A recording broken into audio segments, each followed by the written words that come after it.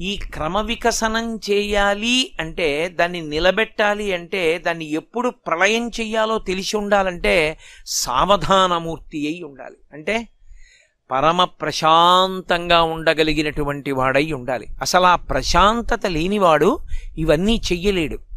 అందుకే సృష్టి స్థితి ప్రళయం ఈ మూడు చేసేటప్పుడు నేనే విధమైన ఉద్వేగముతో చెయ్యను. చాలామంది ఏమంటారంటే లయం చేసేటప్పుడు ఆయన చాలా కోపంగా ఉంటాడంటారు. తప్పు అలా ఏం చేయడు. ప్రళయమునందు సంహారమునందు కూడా పరమేశ్వరుడు కారుణ్యమూర్తి. ఇది మీరు బాగా గుర్తుపెట్టుకోవాలి ఎప్పుడు. సనాతన ధర్మానికి అంతటికీ కూడా జీవం అక్కడే ఉంది. ఈశ్వరుడు సృష్టికర్తగా ఈశ్వరుడు స్థితికర్తగా ఈశ్వరుడు ప్రళయకర్తగా మూడిటిగా కూడా ఆయన బహు కారుణ్యమూర్తి. ఆయన సృష్టి చేసేటప్పుడు పరమకారుణ్యంతో చేస్తాడు. ఎందుకు చేస్తాడు అంటే ఒక్కటే కారణం. ఒకడు శరీరం విడిచిపెట్టి ఇంకో శరీరంలోకి వెడితే కదూ సృష్టి? ఇంకొక శరీరాన్ని ఎందుకు ఇస్తాడంటే ఒక శరీరం ఇచ్చాను. పాడు చేసేసుకున్నాడు. దాంతో ఏం చేసుకోలేదు. కనీసం ఇంకో శరీరం ఇస్తాను. చేసుకున్న పాపపుణ్యాలు పోగొట్టుకుంటాడని ఇంకో శరీరం ఇస్తాడు. ఇంకొక శరీరం ఇవ్వడంలో అనుగ్రహం. ఇచ్చిన శరీరాన్ని నిలబెట్టడంలో అనుగ్రహం. అందుకే మీరు చూడండి పరమేశ్వరుని యొక్క దయాస్వరూపం ఎక్కడుంటుందంటే గత జన్మలలో చేసుకున్న పాపాన్ని దృష్టిలో పెట్టుకుని శరీరావయవములలో దేనికైనా ఒక దానికి వైక్లభ్యమిస్తే తద్బలాన్ని ఇంకొక దాని ఎందు నిక్షేపించేస్తాడు. పట్టుకోవడానికి అవకాశం ఇస్తాడు. అందుకే అంధుడు కూడా జ్ఞానేంద్రియ శక్తి మిగిలిన వాటిల్లో ఎక్కువగా ఉండి జీవించగలుగుతాడు. పరమేశ్వరుని ఎందు ఆ కారుణ్యం ఉంటుంది. లయమునందు కూడా కారుణ్యమే. జ్ఞానంతో ఆయన్ని పొందేవాళ్ళు పొందుతారు సాధన చేసి. పొందలేకపోయినవాడు ఎన్నాళ్ళు ఇలా పడుంటాడు? ఎన్నాళ్ళు తిరుగుతాడు? ఎన్నాళ్ళు ఇలా జన్మలెత్తుతాడు? కొంతకాలం మొత్తం సృష్టికి విశ్రాంతినిస్తాడు. అప్పుడు ప్రళయం అంటే తనలోకి తీసేసుకుంటాడు. తీసుకుని మొత్తం సృష్టి అంతా ఆగిపోతుంది. ఏం ఉండదు అంటే మొత్తం జీవకోటికంతటికీ విశ్రాంతి కల్పిస్తాడు. అందుకే రాత్రి కాలమునందు విశ్రాంతినిస్తాడు. రాత్రి అందరికీ నిద్ర పడుతుంది అందుకే.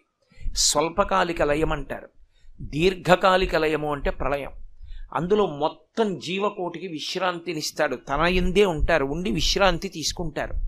ఈ మూడు చేసేటప్పుడు తాను శాంతమూర్తిగా ఉండి చేస్తాడు. తప్ప ఈ మూడు చేసేటప్పుడు ఆయనలో ఉద్వేగం ఉండదు.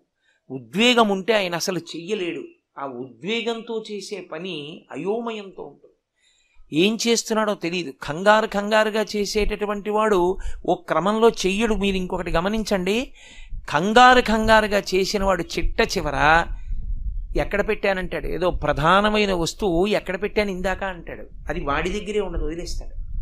పరమేశ్వరుడికి ఆ ఉద్వేగం ఉండదు. ప్రశాంతమూర్తి. ఇది చెప్పడానికే ఆయన ఎంత ప్రశాంతమూర్తియో చెప్పడమే దక్షిణామూర్తి యొక్క తత్వం.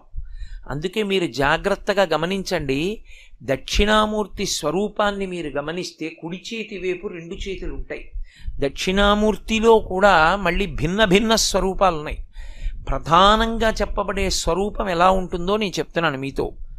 కుడివైపు రెండు చేతులు ఎడమవైపు రెండు చేతులు నాలుగు చేతులు రెండు కాళ్ళతో ఉంటాడు. ఒకటే తల. నాలుగు చేతులలో కుడి చేతి వైపు ఉన్నటువంటి రెండు చేతులలో పై చేతిలో ఢమరుక ఉంటుంది. ఒక్కొక్కచో ఆ ఢమరుకాన్ని సర్పం చుడుతుంది. సర్పంతో చుట్టబడిన ఢమరుకాన్ని పట్టుకుంటాడు. ఆ సర్పం చుట్టుకుని వాలదు. ఇలా లేచి ఉంటుంది పైకి. పడగ ఇలా పైకెత్తి ఇలా నిటారుగా నిలబడుతుంది. తోక మీద నిలబడిన పావు ఉంటుందే అలా ఢమరుకాన్ని చుట్టి నిలబడుతుంది ఇలా పావు. అది కుడి చేతిలో పైన ఉంటుంది. కింద చేతిలో ఇలా చిన్ముద్ర పట్టుకుంటాడు.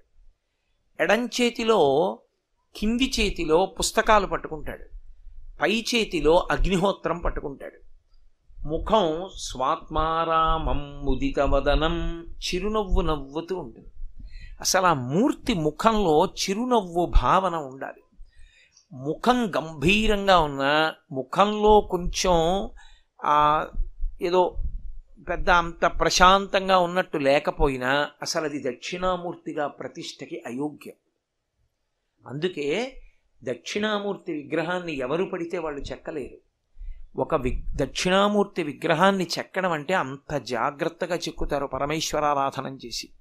ఎందుకంటే మూర్తిలో నవ్వు రావాలి. దాన్ని మీరు చూడగానే పసిపిల్లలు కూడా నించోగలగాలి వెళ్ళి.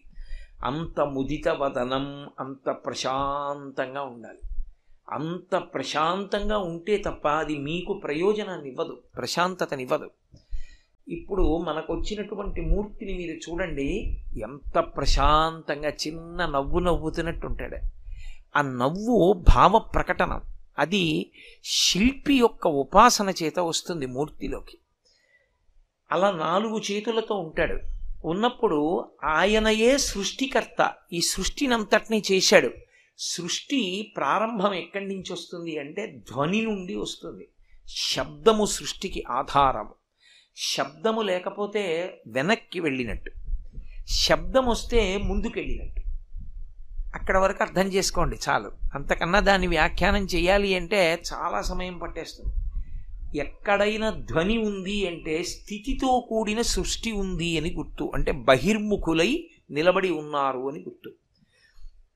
ఎక్కడ శబ్దం లేకుండా ఉంది అంటే వెనక్కి వెళ్ళారు అని గుర్తు. అంటే ధ్యానావస్థలో మూలం వైపుకి వెళ్ళిపోతున్నాడు. అన్నీ ఎట్నుంచి పుడుతున్నాయో ఎక్కడి నుంచి పుడుతున్నాయో దాని వేపుకు వెళ్ళిపోతే వెనక్కి నడక అంటారు.